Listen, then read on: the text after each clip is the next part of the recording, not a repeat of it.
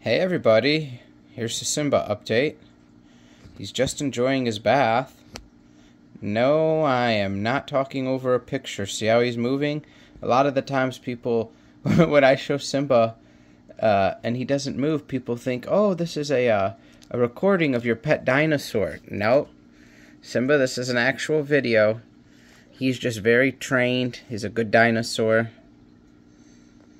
Right? Yes. I tell people he's a greyhound dog and not a dinosaur.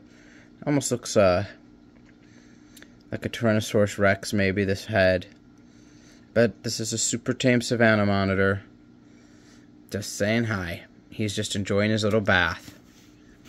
okay. Okay, good boy.